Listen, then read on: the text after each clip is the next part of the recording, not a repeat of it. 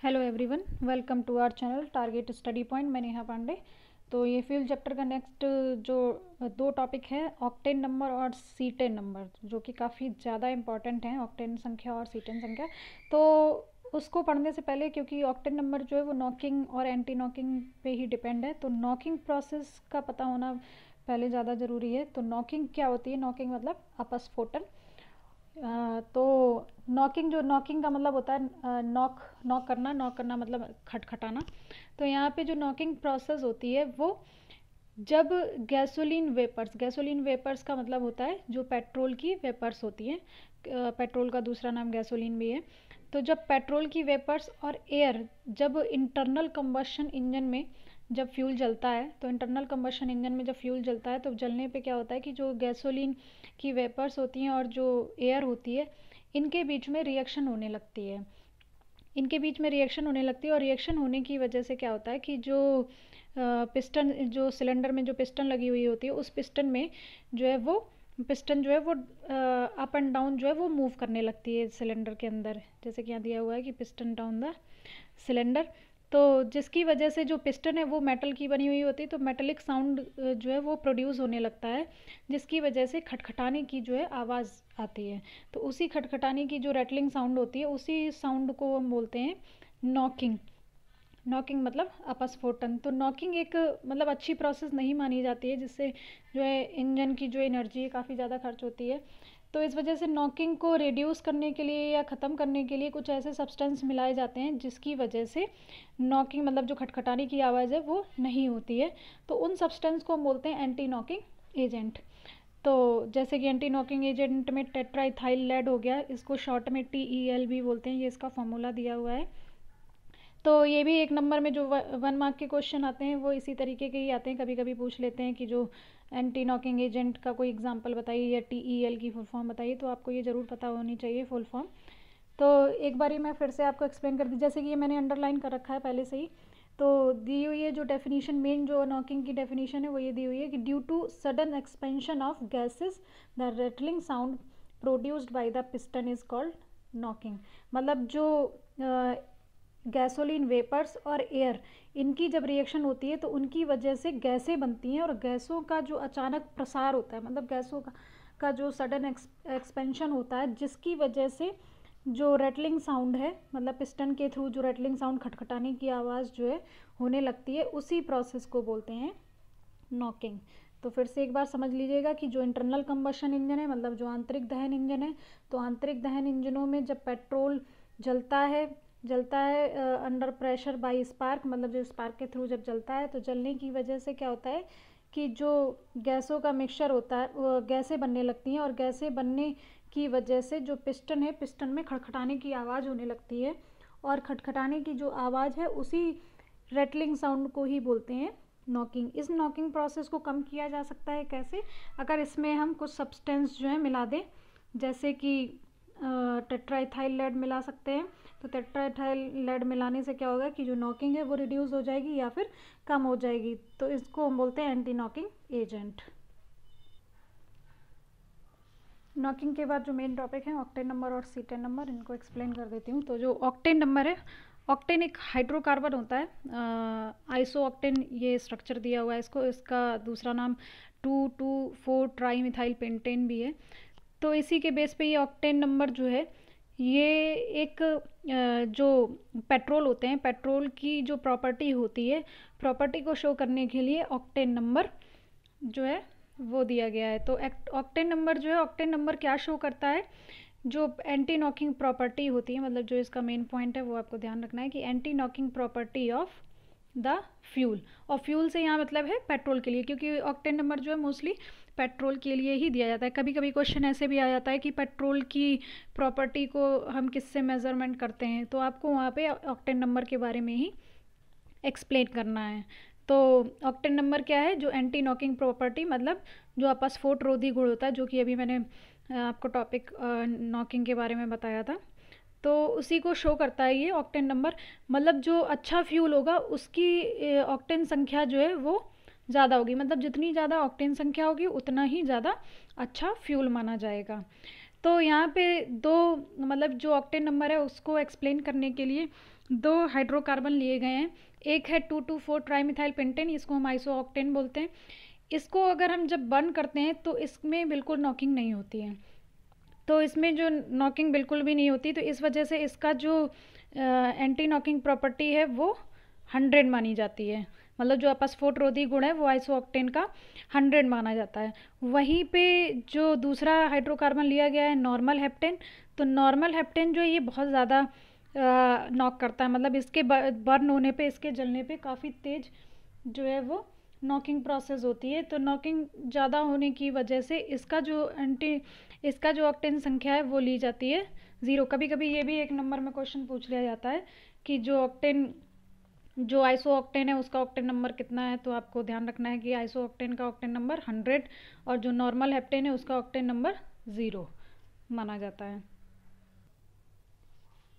तो iso octane और normal heptane मतलब जो आइसो ऑक्टेन दिया हुआ है और नॉर्मल हेप्टेन, इन दोनों के मिक्सचर में जितना परसेंटेज आइसो ऑक्टेन का होगा तो वही उस फ्यूल की जो है, ऑक्टेन नंबर कहलाती है, ऑक्टेन संख्या कहलाती है। मतलब प्रॉपर्टी, जो फ्यूल की प्रॉपर्टी जो है, वो आइसो ऑक्टेन और नॉर्मल हेप्टेन के में जो आइसो ऑक्टेन का परसेंटेज है, उससे उसकी property anti knocking property match करती होंगी।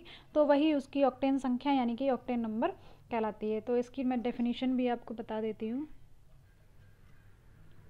तो ये डेफिनेशन दी हुई है, यही अभी आपको मैंने एक्सप्लेन भी किया है। The percentage of isooctane in a mixture of isooctane and normal heptane which matches the knocking property of any fuel is called octane number of the fuel मतलब जो परसेंटेज है आइसो ऑक्टेन और normal heptane का percentage है, उसकी property जो है वो फ्यूल की प्रॉपर्टी से मैच करती है तो वही उसका फ्यूल का ऑक्टेन नंबर कहलाता है। या फिर ये कह सकते हैं कि जो आइसो ऑक्टेन और नॉर्मल हेप्टेन का जो परसेंटेज होगा, जैसे फॉर एग्जांपल कि एट्टी परसेंट आइसो ऑक्टेन है और ट्वेंटी परसेंट नॉर्मल हेप्टेन है तो इन दोनों के मिक्सचर में जो नॉकिंग प्रॉपर्टी होगी, वही सेम फ्यूल की भी नॉकिंग प्रॉपर्टी होगी तो वही उसका ऑक्टेन नंबर कहलाएगा। मतलब एट्टी परसेंट डाइसो ऑक्टेन और ट्वेंटी परसेंट नॉर्मल हेप्टेन का मतलब कि उसकी ऑक्टेन संख्या एट्टी हो गई।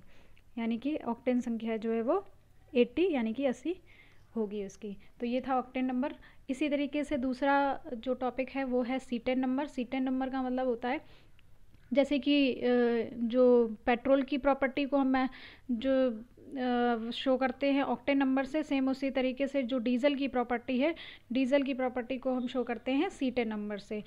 तो ये जो सीटेन नंबर है, ये डीजल की इग्निशन प्रॉपर्टी को शो करता है। जो मेन पॉइंट हैं, वो आपको दोनों ही टॉपिक के याद रखने हैं कि पेट्रोल की नॉकिंग प्रॉपर्टी को शो करता है ऑक्टेन नंबर और डीजल की जो इग्निशन प्रॉपर्टी यानी कि ज्वलन गुण।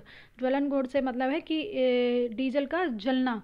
जलने से मतलब है आग पकड़ने से, कि यानी कि कंप्लीट जल जाना। तो जैसे ही जितनी जल्दी डीजल आग पकड़ता है, उतना ही अच्छा माना जाता है।